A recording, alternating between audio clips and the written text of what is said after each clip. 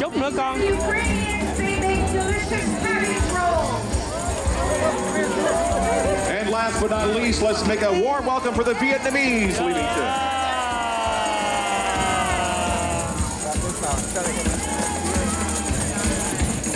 And the Vietnamese, they eat sweet and sour fish and tomato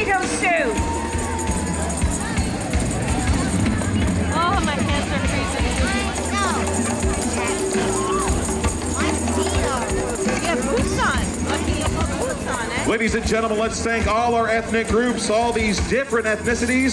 Certainly help to make up the framework of our unique and interesting community. And of course, we're all proud Canadians, are we not?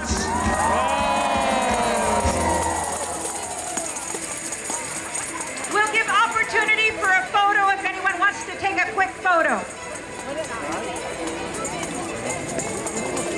Allow yourself a chance to get a photograph here. We'll uh, move back to the stage in a second. We're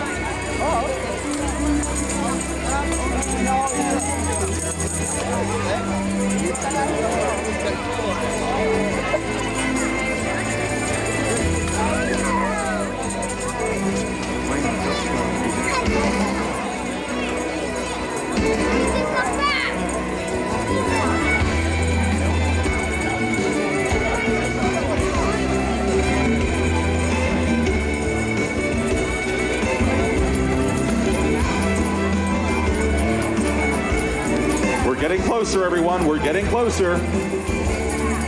We'll allow our different ethnic groups a chance to get off stage right now. Don't forget, Judy Rafool and Dale Butler will be here after the torch arrives, so make sure you plan to stick around right till 10 o'clock. Lots more entertainment to come as we celebrate the torch here in Leamington. Now, many years back, Leamington was introduced to our infamous mascot family. We all know and love them now, do we not? You know who I'm talking about too, right?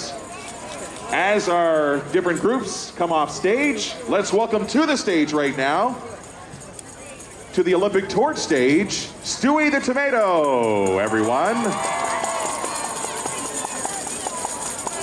There's